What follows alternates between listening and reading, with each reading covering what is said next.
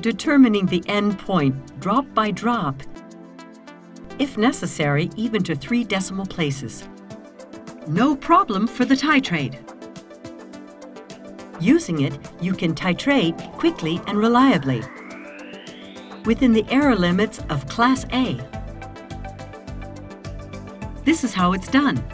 Place the container of test solution under the titrating tube. Turn on the Titrette and start the titration.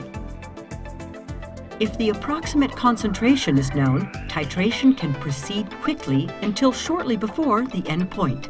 Then add the standard solution, drop by drop, until the color change.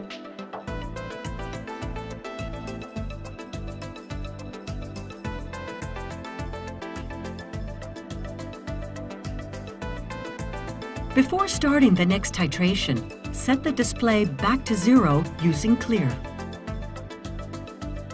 To fill the Titrette again, move the piston upwards until it stops. You are now ready to start the next titration.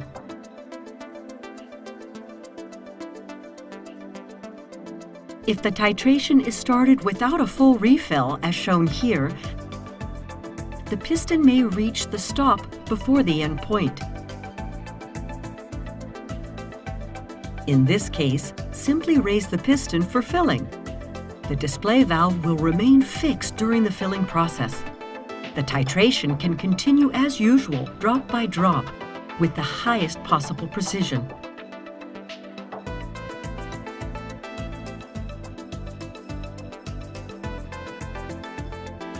To reduce crystal deposits and evaporation, always fill the device completely to the upper stop after titration.